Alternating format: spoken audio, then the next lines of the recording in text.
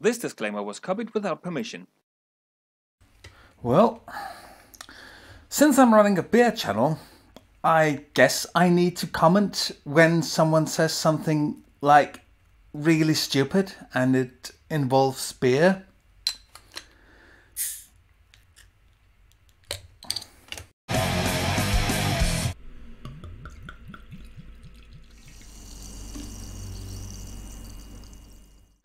Cheers, Quaffers, Custlers, Swiggers, Sippers, and all other good people out there. Hopswatch here. Now, Lisa Kudrow from Fre- Wait. No, no, no, that, that's wrong. No, uh, Larry Kudlow from uh, Fox News. You know how some news channels have a funny person to take care of weird and silly news stories to give it a comedic twist? No? Well, neither do I. But if they did, uh, that is what Fox News has made its hallmark to put completely on its head. On its head.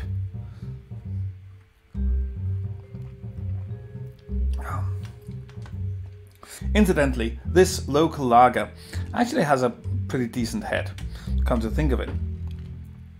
Fox News is the news channel that has basically no serious news reporting at all, except when Chris Wallace gets a bit of airtime to legitimize Fox as an actual news reporting media corporation.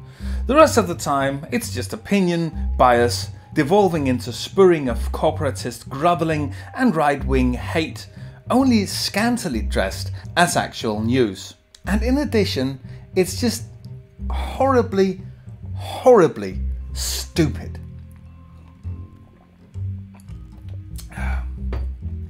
So this guy, Larry Kudlow, is on Fox Business. I guess that's the outlet for the corporatist groveling, while Sean Hannity and Tucker Carlson take care of the extremism spewing on the main channel. And Larry Kudlow had a segment where he criticized Biden's climate plan. Or rather, he built a straw man of it, which he then viciously attacked claiming that Americans had to give up all meat in order to meet the, uh, no pun intended there, in order to meet the CO2 emissions reduction goals in the climate plan.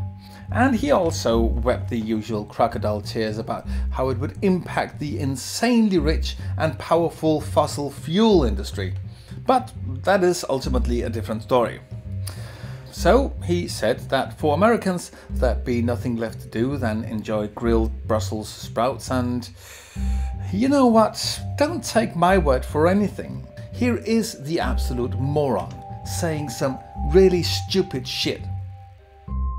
I'm sure Middle America is just going to love that. Can you grill those Brussels sprouts? So get ready. You can throw back a plant based beer with your grilled Brussels sprouts and wave your American flag. Plant based beer. And he even goes on to say that three times during the segment. Now let's just go over this so everyone is on the same page. According to die Bayerische Landesordnung von 1516, beer should only be produced using barley, hops, and water. I think we can all agree that water is not an animal product. It's a ubiquitous chemical compound found in plants and meats. In and of itself, um, it's neither.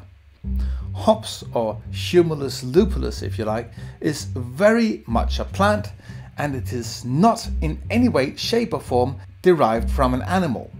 Same goes for barley, or any of the other grains used for beer wheat, rye, oats, rice, corn.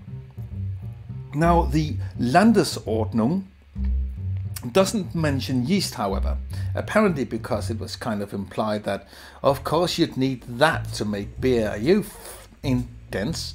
And yes, of course, water has to be mentioned explicitly. What would you use instead? Sand?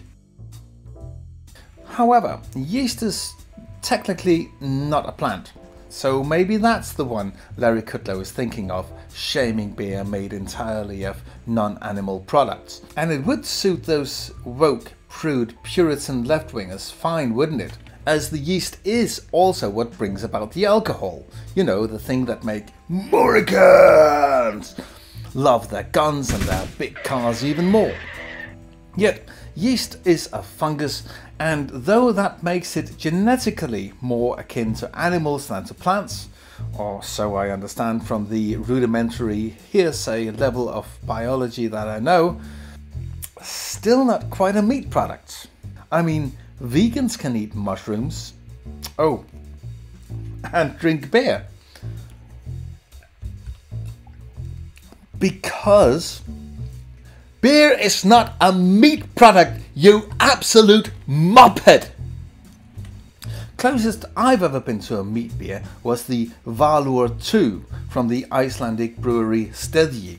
That one was brewed with malt roasted over fin whale testicles. However, no actual tissue, not even testicular, were actually present in the beer. Then there was the bacon beer Memento Mori, Til jord skal du blive, or Dust to Dust in English, by Danish Kongebryg. It's that t-shirt I'm wearing. But they actually just use the spices typical of bacon to produce the beer. Because as the uh, brewmaster Nils Kiels, who's a friend of mine, specifically told me, it's illegal to produce beer using animal products, in Denmark at least. But, I mean, keep in mind, we're a liberal, basically communist country in the eyes of uh, so many Americans. But where does this notion of beer being an animal product come from? How could this absolute spanner even come up with the completely moronic idea that beer would suddenly become a completely plant based product after ceasing being something else? Meat based, one would guess. That is, if Biden's uh, climate plans uh, came to pass. It's anyone's guess, really. My guess, however, is that it hinges on male stereotypes and toxic masculinity connected to it. It's very important for the Fox audience to seem so manly and powerful, so Fox channels will very consciously be appealing to that specific audience of gunslinging, muscle flexing, hot rod driving Americans. Thus, Larry Kudlow's segment naturally will revolve around topics associated with his viewers. Fossil fuels and the awesome powerful cars that you can drive with it, along with the beef, mutton, chicken, turkey, and all the other animals you can stuff yourself with in the name of America and beer. Yeah, beer not like the liberal sissy pants who go about in their electric and hybrid cars while they joylessly chuck down their uh, vegetables. And in order to make beer fit into the preferred stereotypes and prejudice of the Fox audience, they have to be able to contrast themselves to the evil liberal veggies and their climate consciousness, driving everyone to giving up burning fossil fuels and living in caves. Or to put it up in a properly dichotomized fashion consumable to Fox audiences, meat good veg bad. Veg bad. So any beer one would have access to after Biden and his liberal hordes of climate conscious hippies have ravaged the country, waving their Brussels sprouts tied with ramen to the end of celery leaves at poor defenseless Americans covering in fear in their long empty Hummers and Dodge Chargers. Yeah, any beer obtainable in yonder dystopian nightmare would of course need to be plant based. as opposed to the meat based beers that we all know from the glorious golden age of today, where fossil fuels, meat, and probably but admittedly, Larry Kudlow didn't say anything about this. Guns are still allowed. It's all about playing into toxically masculine stereotypes where vegetables are for sissies and girlies and meat are for real manly Murricans. Or something. Anyway, I have little more now that I have vented and hopefully got my point across. Please like and subscribe, comment and share, follow me on social media and consider supporting me on Patreon.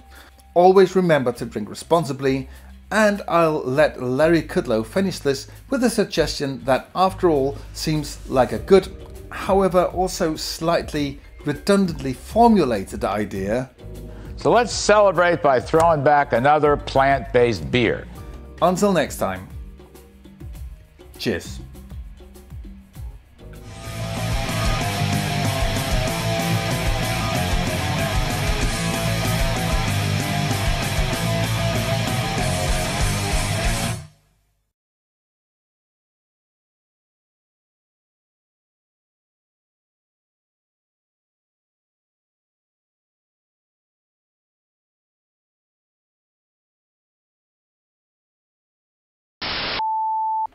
Oh, by the way, just for the record, it appears that Matt Powell has a huge inflatable banana in his backyard who he calls Dr. Peel.